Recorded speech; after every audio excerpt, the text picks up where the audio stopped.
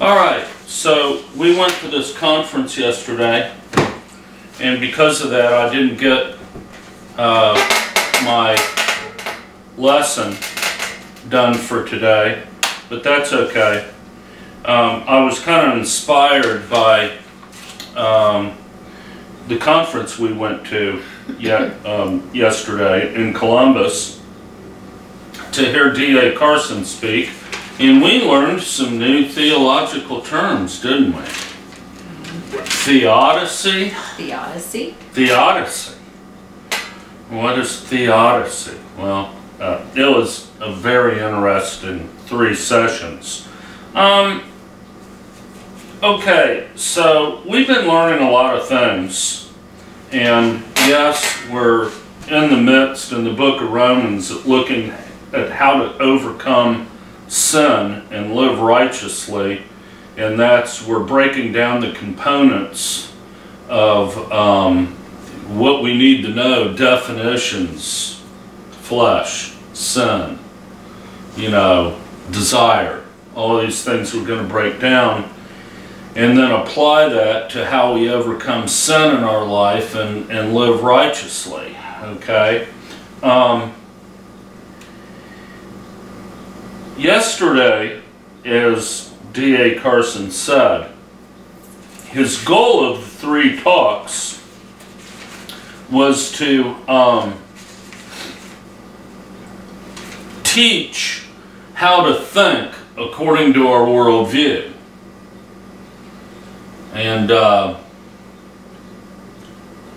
I thought that the that the out outright admission that he was teaching us how to think was quite quite interesting. I think a lot of people missed that. All right, um, especially towards our worldview. So another uh, word um, that uh, we learned was well we theodicy and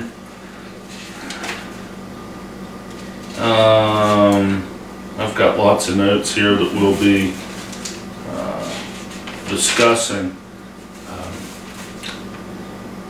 compatible compatibilityism was that it?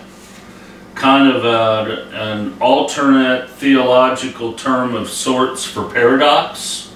Okay pretty much, even though this is a complete contradiction, uh, you can believe it because I'm a philosopher king and I say so, type of deal. Okay? But anyway, we'll have a lot more to say about that conference in the future.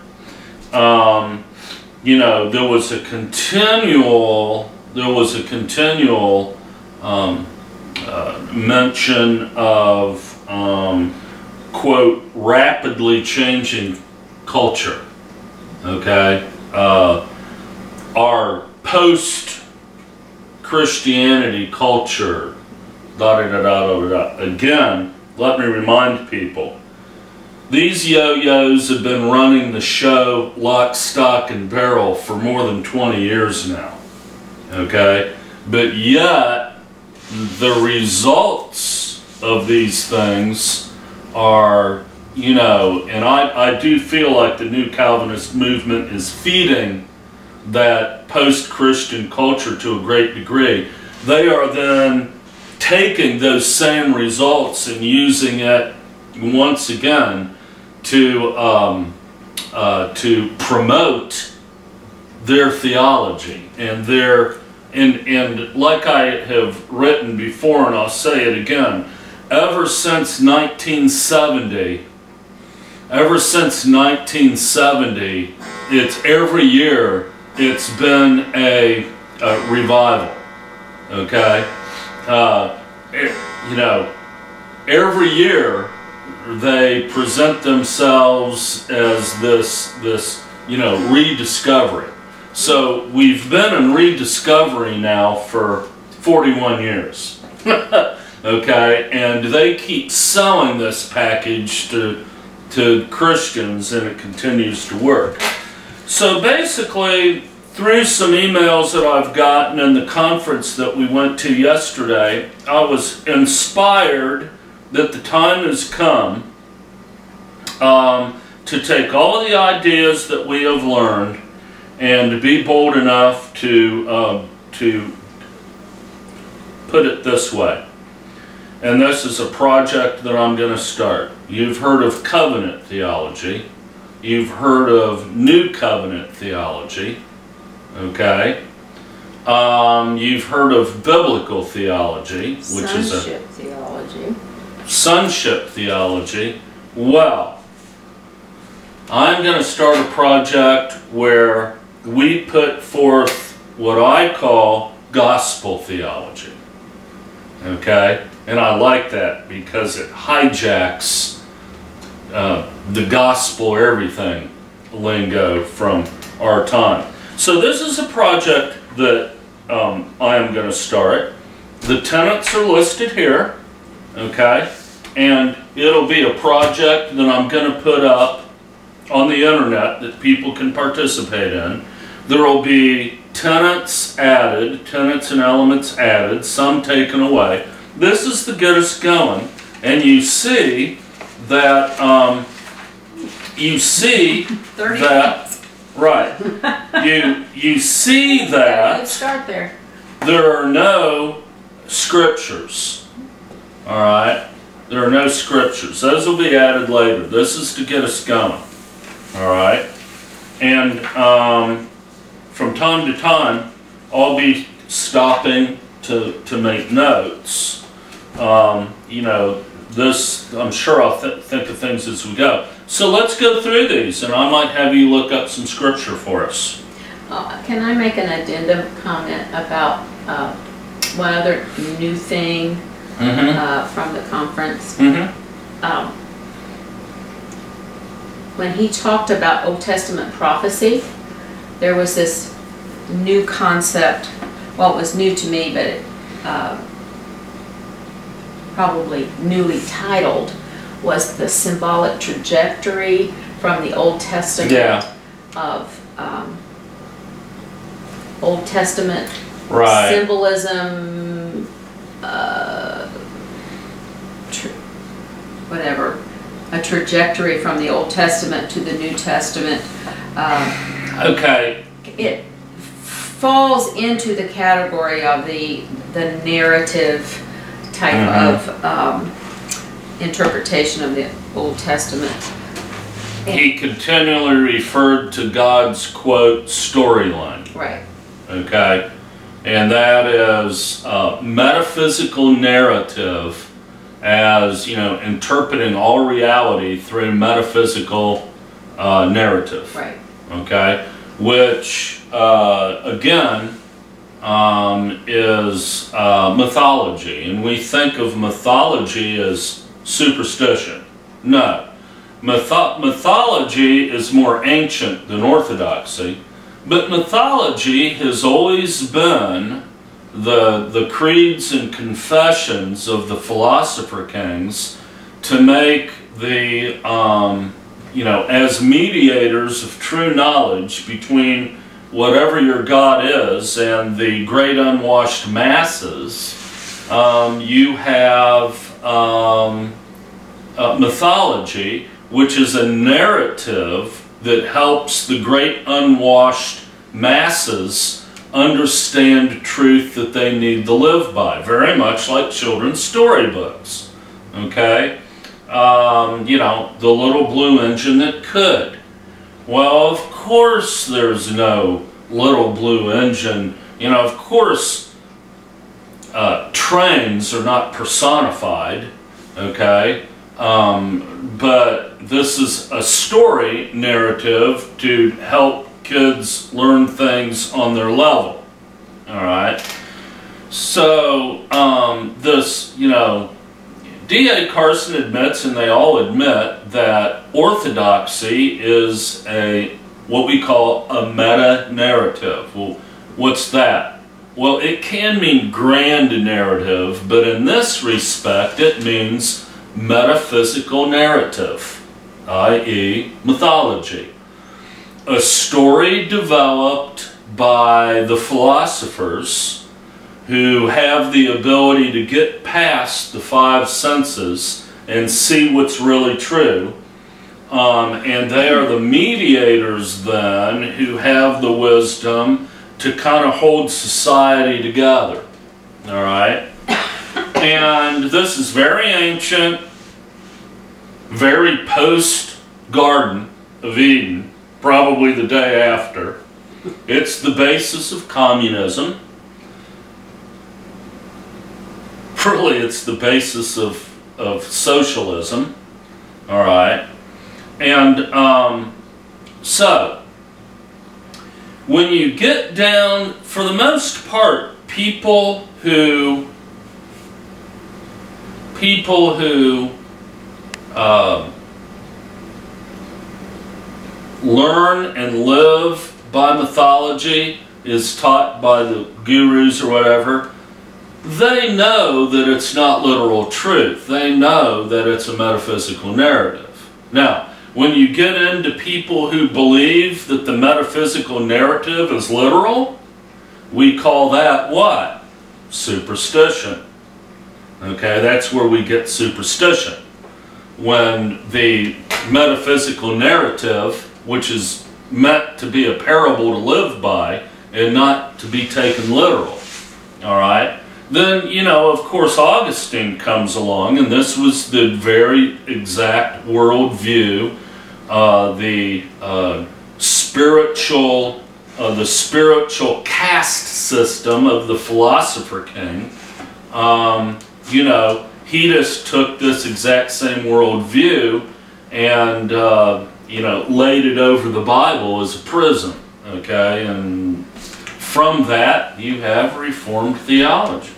Well, he was using a lot of the, uh, what we learned as types of Christ, the typologies of Mhm. Christ, and Mhm. expanding it upon, uh, calling it a trajectory, a lot of prophecy in the Old Testament from Isaiah, from the Psalms, and he called it this symbolic trajectory uh, of prophecy from the Old Testament to the New, but there were many things that he was putting in that trajectory that I had never been taught was prophecy or typologies of Christ. It was like Right. he was putting a lot of David's symbolism in, in a lot of his psalms in uh, in that trajectory and uh, finding parallel uh, accounts in the New Testament to put in there. I, th- I thought he was kind of expanding and stretching that Oh, concept He was torturing Scripture.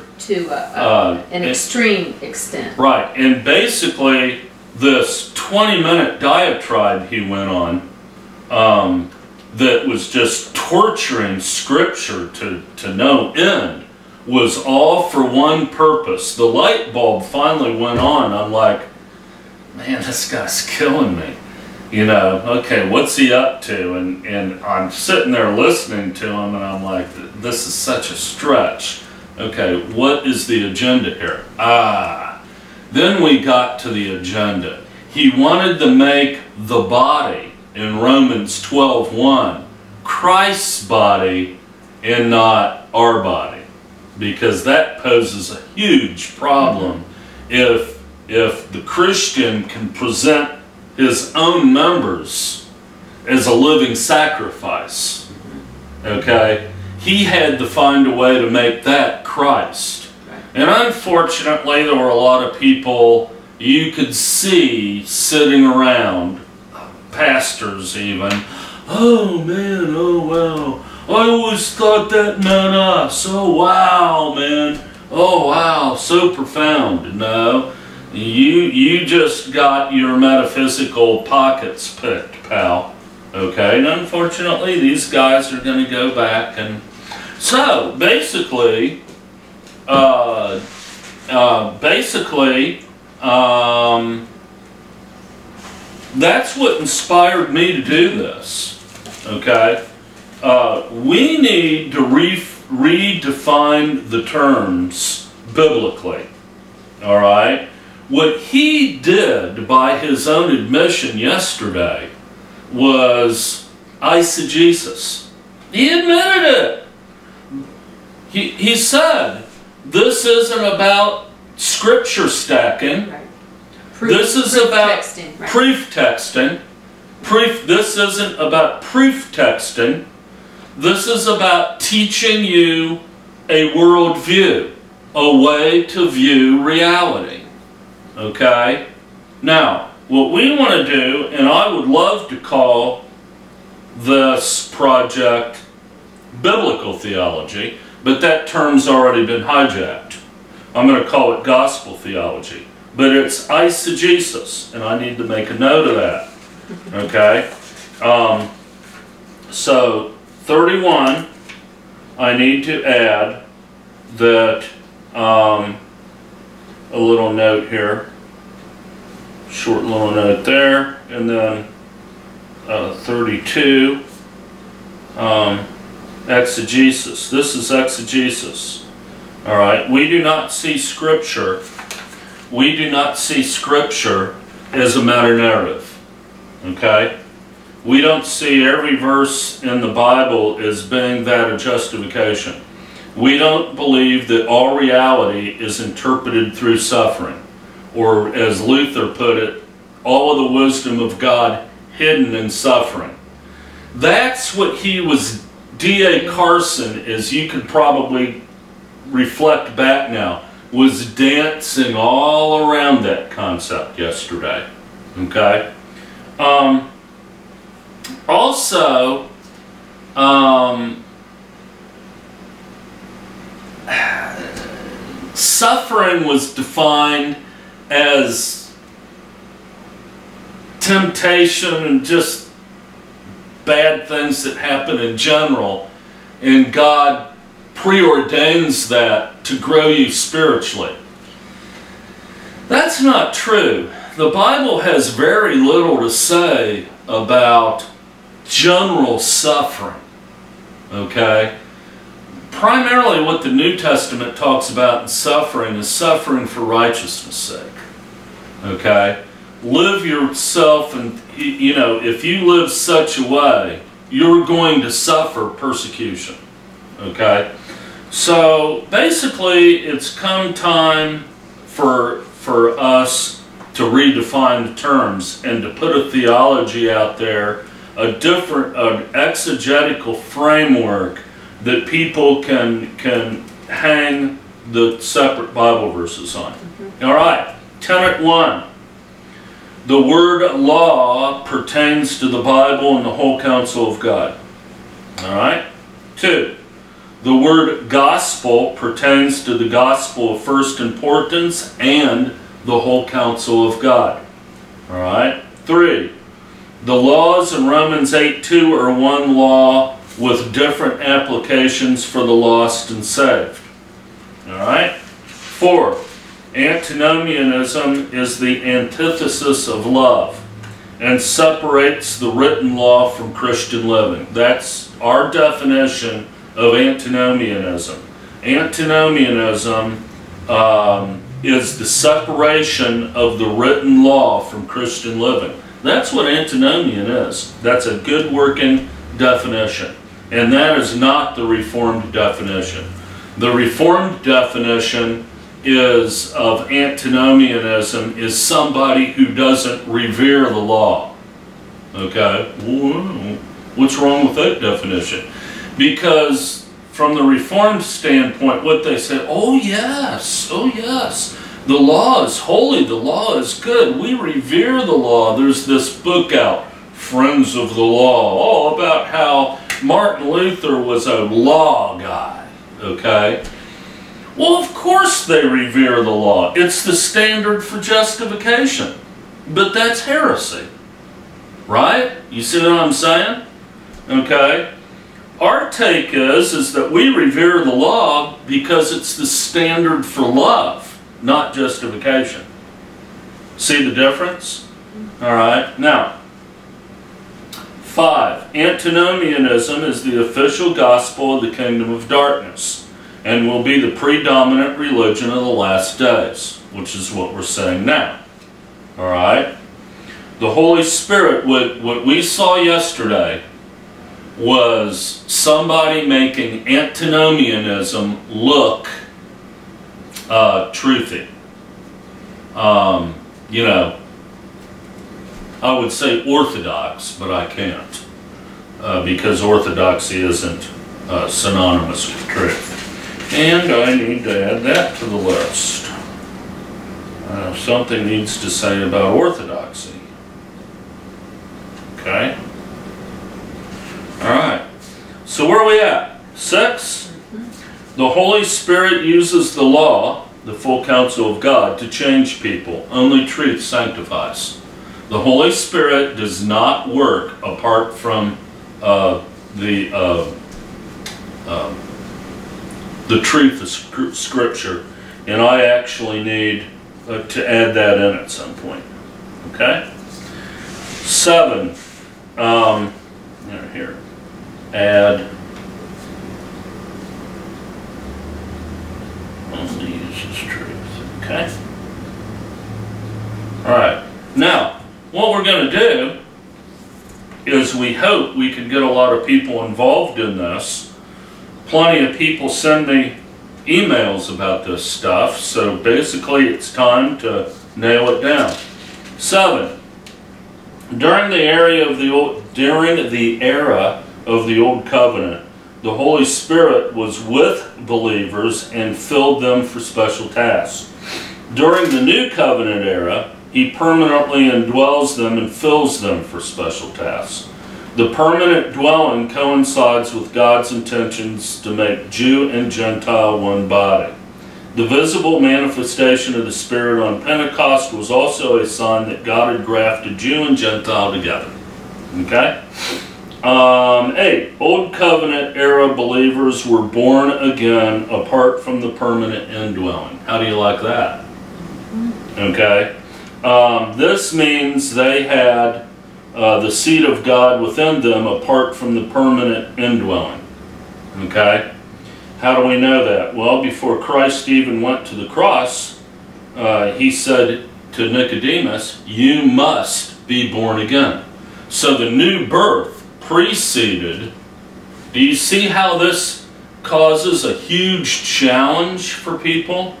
Um, be, because uh, there were right, the Old Testament believers were righteous recreations of God apart from a, a permanent indwelling of the believer. Okay?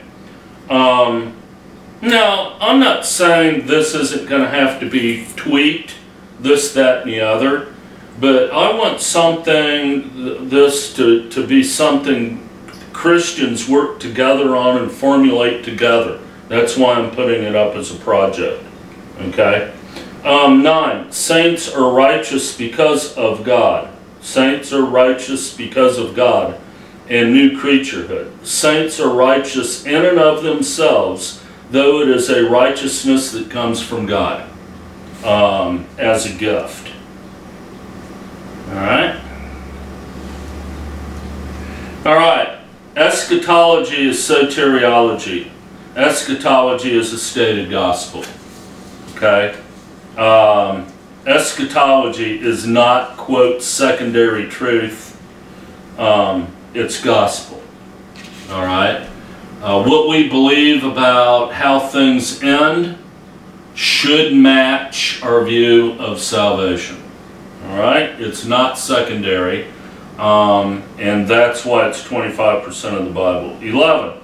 Epistemology is divided into two categories, secret things and revealed things.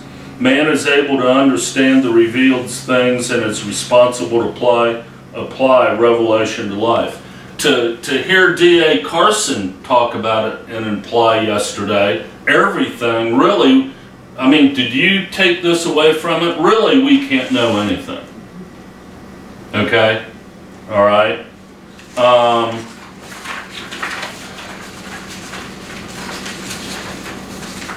All right, 12. All three members of the Trinity are fully involved in the plan of salvation and its execution. And all three members are fully involved in our sanctification along with us. It, both are Trinitarian. 13. God preordained the plan of salvation completely separate from man, but man has a role in accepting the gift of salvation. All right? 14. Justification and sanctification are completely separate. Justification is a finished work that is offered as a gift. Sanctification is a progressive work that re receives rewards. Justification and sanctification are separate and distinct according to gift versus reward. And this is this element right here, this tenet, number 14, is the, if I'm pronouncing this right, this is the magnum opus. Okay? It absolutely, tenet 14 is the magnum opus. Why? because in the book of Hebrews, someplace, the Hebrew writer said, God is not unjust to forget your love and good works. And if you break that sentence down, it's the idea that God would be unjust in forgetting our, quote, our love and good works because it's owed us. It's a reward. Okay, it has to do with rewards. Okay, um, this, that verse in and of itself in Hebrews totally, uh, totally sets the orth the Reformed Orthodox dog on fire. Just, you know, uh, just does complete violence to the whole construct. All right? 15. Christians will not stand in a judgment that confirms justification. They will stand in a judgment that determines rewards. Only the eternally condemned will appear at the white throne judgment. 16. The four parts of soteriology, the doctrine of salvation, are definitive sanctification, justification, progressive sanctification, and redemption. All right? 17. The covenants are building blocks that create the full picture of God's plan for the ages. They are also promises. The covenant is only fulfilled when the promise is fulfilled. 18. The new covenant is better than the old covenant because the new covenant is an ending of sin and the old covenant is a covering of sin until faith comes. 19. The sins of the old covenant era believers were imputed to the, to the old covenant. And then the Old Covenant purpose of the law for believers was ended at the cross. The sins of those who now believe are no longer merely covered, but ended. This is because Christ went to the cross to end the law, and therefore all of uh, the sin imputed to it as well. Now, do you begin to see where in, unless you interpret Romans 8.2 as one law with two different applications, really the whole the rest of the Bible is thrown into total turmoil. Okay, because of uh, because of this. All right. Um, where where did I end up? 19. Mm-hmm. Okay, 20. Where there is no law, there is no sin. Therefore, the saints do not sin against justification. In regard to justification, look, just take that comment by Paul alone. Where there is no law, there is no sin. The only way to make sense of that at all, okay, is to see Romans 8 2 in the way that I explained.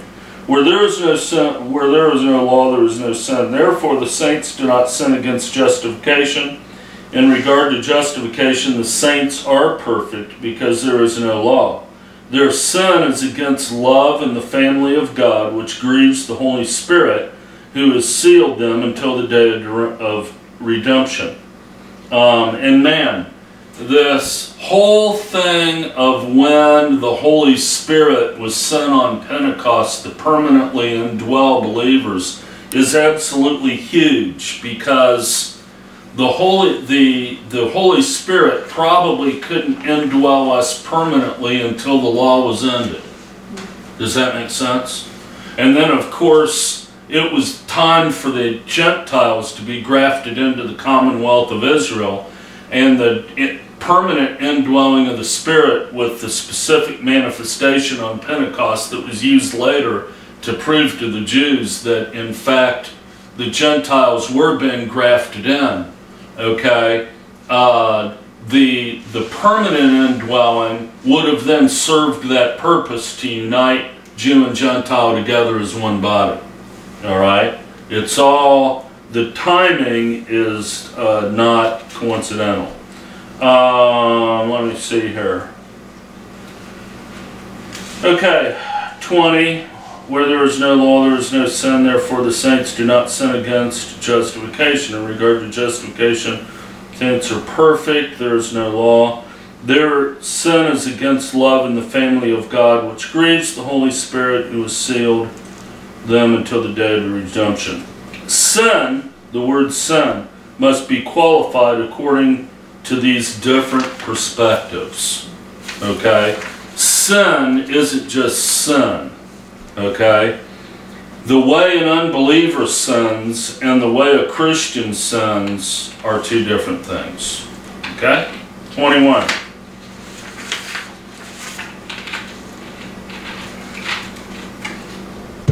Creation and the body are not broken. Okay? All right. D.A. Carson yesterday pretty much made it clear um, that, um, you know, creation was totally fallen. We are totally fallen. Use the word broken more than once. Bro, well, what he said was, is is the world isn't just fallen, it's God damned. Okay? Yeah, I mean, yeah. I mean, you know. Okay, you wanted to make that point very strong. Tenet 21 Creation and the body are not broken or inherently evil, they are weak. Okay? The body can be used for holy purposes by the believer. You see where Romans 12.1 creates huge problem for uh, uh, total, uh, total depravity and uh, the uh, complete inability as far as man's will. The creation moans with us for redemption. Remember when Paul said that? All right. If um, if creation was completely fine, see, we read the Apostle Paul and we say, see, why does Paul say all of this weird stuff? All right. Then you start discovering what kind of theologies Paul was up against that day. Now you understand exactly why Paul makes it a point to say that the creation moans and groans uh, with us, longing for the day of redemption. Well, if creation was totally fallen, and if creation was, quote, D.A. Carson, God damned, all right, then why would um, why why would creation be longing for redemption? Okay, so it would it, it would have no way to have that desire. Right, exactly. And you say, well, that's weird. Creation has a desire to see the second coming of Christ. Yeah, well, you know, can that be taken literally? Well, that's not the point. But when you start, you know, when you start learning and thinking about, because like I've said before, this Gnosticism that these guys are teaching is exactly the same Gnosticism that Paul was up against um, uh, in the first century. So now we begin to understand why Paul says these things in the New Testament. All right? 23. The Old Covenant still serves the purpose of an imputation for unbelievers. Though that role is ended for, the, for believers because Christ died on the cross to end the law, the sins of unbelievers are still imputed to the quote, law of sin and death. This is the law that condemns them, and they will be judged by it at the great white throne judgment. When one believes, all of their sin is ended along with uh, the law. They are no longer, quote, under law, but under grace. The latter involves being led by the Spirit according to the same law, but for love without condemnation. All right? And this theology, like all theologies, is meant to, to keep in mind as you're reading your Bible and when you see in your Bible uh, conversation uh, that, that fits on this framework, you write it in. Okay? And in that way, you're testing it to see how valid or invalid that it is. All right? 24. Obedience, submission, etc. is synonymous with love. Love and obedience cannot be separated in sanctification. If Christ, if Christ obeys the law for us in sanctification, because our sins are only covered and not ended, the Christian cannot love God. They are still under law. All right. 25. It is not enough to believe in the historical facts of the gospel of first order, the death, burial, and resurrection of Christ. We must also believe in the promise that we follow Christ in the literal death of our personhood that was under the law, and that we are resurrected with Christ to serve the law of the Spirit of life. It is the belief that we have escaped the condemnation of the law and are now free to obey the law in loving service to Christ and others. All right? The standard is the same. The, the Bible, okay, it's the same law. For the unbeliever, it condemns. For the, for the believer, it's, it's our guide to loving God and others. Uh, as we are helped and illuminated by the Holy Spirit. Here, let me make this point. John uh, 14. Listen to this. Okay? John 14, 15. Christ said, If you love me, keep my commandments. Verse 16. Next verse. Okay? And I will ask the Father, and he will give you another helper. All right? Why does Christ say that? All right? The Holy Spirit, listen, the Holy Spirit uses this and nothing else to help us love God. All right? If you have something wrong in this that you are teaching, if you have something wrong in this that you are trying to apply, the Holy Spirit is not involved. Don't accuse him, don't accuse him of being involved in it. Because he's not. If you have scripture wrong and you're making the wrong application, okay, you're slandering the Holy Spirit. Alright? You're saying the Holy Spirit's with me on this. Alright? No, he isn't. Okay? If you want to rob a bank, go ahead and rob a, a bank. But don't go around telling people that the Holy Spirit helped you do it. Okay? Now. God gets credit for a lot of things that he wasn't intended on getting right. credit for. Right. 26. Those under the law produce wages of death and fruits for death. Those under grace produce rewards and fruits of righteousness guided by the law and the, and the Spirit's help. Um, I thought about making a distinction between this and good works because unbelievers can do good works, but I don't know how I want to word it and I don't know if I want to try to do it. All right? Tenet 27. This is why unbelievers are indifferent to the law. Listen. This is why unbelievers are indifferent to the law. While believers love the law. Psalm 119. Merit of some sort is not the issue. Love is the issue. When we are told to not live by a bunch of do's and don'ts, we're really being instructed not to love. Okay? 28. The law encourages us with promises, gives us hope, teaches us about God's purposes in history, and teaches us how God thinks. Even though the applications of God's purposes change over time, the fundamentals are the same. For example, we may not apply certain civil laws of the Mosaic Law to our present lives, but God's purposes in those laws may certainly have an application for us today. Mm -hmm. we do not have slaves in our culture, but a Christian business owner may apply the principles of some of those civil laws uh, to his, hers business, i.e., it is important for people to get rest. Overworking people, or for that matter, animals, is a moral issue. Just because Christians are not under specific applications of many Mosaic laws, it does not mean that the information thereof has no application for us in this day.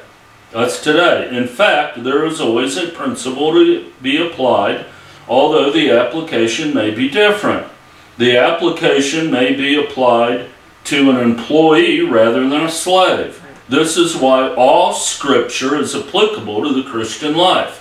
Now, this is why when people say, oh, so, so you believe all scripture is for Christians today. okay, you, you believe it's all one law and it condemns unbelievers and it's our guide for love in this day. Okay, well, oh, you, you're wearing clothes that have seams and buttons there, dude. That's a violation of the law. I just want to hook him right in the stinking nose. Okay? I, I do. I just, it's like, you know, um, let me give you an example of this, okay? Um, another example. The, the, examples could go on and on and on and on. Uh, one just second. Okay. Um, there was a YouTube video going around.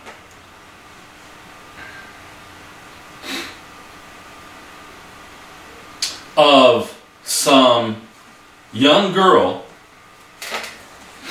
who had a five gallon bucket full of puppies that had just been born and was at the side of a river taking them out of the bucket and throwing them in the river. Okay?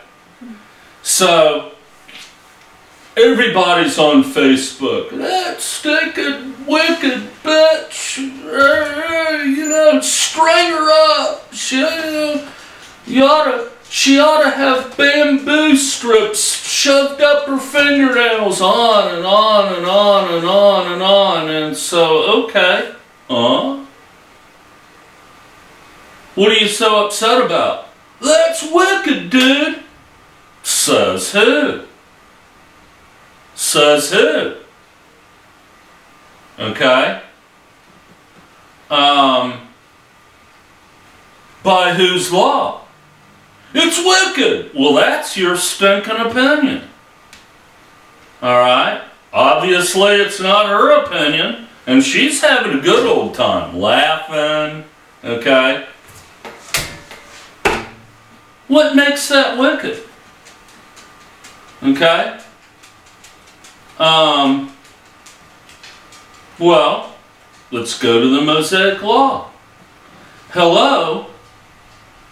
If you have to keep a Sabbath day, and Exodus says this specifically, it might be Deuteronomy, someplace in the law it's specifically stated as to why. One reason there's a Sabbath, and that is not only to give servants a day of rest, but animals a day of rest. All right? You know, to overwork animals is, um, God doesn't uh, like it. Okay, it's immoral in God's eyes. Well, obviously, if it's even immoral not to give work animals rest, how much more wicked is it to, uh, you know, throw puppies in the stream? It tempts me to get a bucket of puppies and go to the edge of a stream and start throwing them in the river and saying, well, you know, do you keep the Sabbath? you don't like this? Would you keep the Sabbath? It's the same reasoning. Do you see this? Mm -hmm. All right. Okay. there's an Old Testament law. Um, do not muzzle the ox that treads the grain. I guess the oxen that they tied to a post and went around and around and pushed this.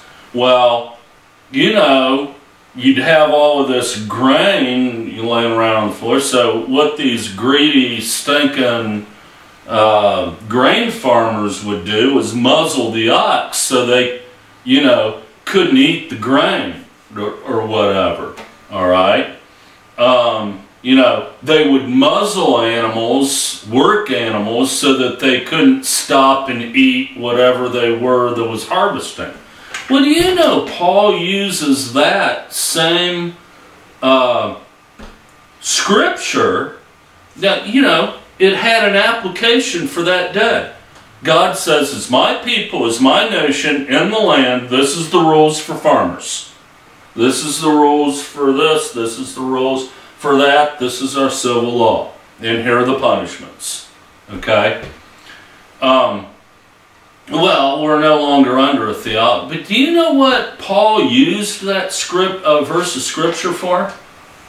Um, for a case for paying pastors and make sure, well, not pastors, elders, that the needs of elders in the home fellowships was met. Okay? Um, so what's the reasoning there? Well, okay, it had an application back in that day. What are the applications? Well, it's civil law and don't mistreat animals. Don't mistreat my created beings. Okay? So basically, Paul has an application in the first century for pa pastors. Yo, if, if, if, if it's immoral to not give an animal its due, how much immoral it is to not make sure the needs of elders are met. And then he added to that also what Christ said, a workman is worth his hire, or something along, along those lines. Okay? Also, you know that whole verse of scripture that Peter says, be not deceived. I think Peter said it. Be not deceived. God will be, well, you know, will not be mocked. Okay? That verse of scripture, read that in context. That's, that's about, that's about not making sure the needs of elders are met. There were home fellowships not meeting the needs of elders and uh, they were mocking God. That's the context of that, if I remember correctly. But I think I'm right. Okay, now, where was I? Okay. You see now why 2 uh, Timothy 3.16 and 17 can now say all scripture is profitable for da da da da da that the man of God is fully equipped. Okay? Now, if the Word of God fully equips us, okay, that makes the Holy Spirit using the Word to move us along spiritually. Okay? Uh, it's the Word uh, that fully equips us that the Holy Spirit uses to help us. And the Holy Spirit prays for us, we know that okay, uh, as well. All right, 29. During the tribulation period, God will send angels to enforce the covenant that was originally made with Israel at Mount Sinai. This seems to be instigated by the covenant Israel makes with hell, which will be annulled. Isaiah talks about it.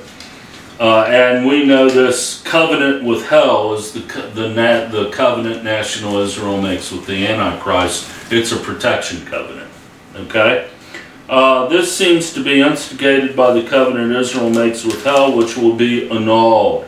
At the end of the tribulation period, which marks the beginning of the millennial kingdom, God will completely consummate the new covenant, which will entail the writing of the law on the heart uh, hearts uh, of every, uh, or the heart of every uh, Israelite. Again, same law, but unlike today, it will not have to be learned by Israel. They will teach the law to the nations and will be the head and not the tail. All of Israel will be saved. To be a citizen of Israel will be part and parcel with eternal salvation in the millennial kingdom. 30. The new heaven and the new earth will usher in pure righteousness. Heavenly Jerusalem will, will descend from heaven and God will dwell with man. This is the city that Abraham looked for. Okay? Um, and it is the bride of Christ, not the church, by the way. Okay? So that's it.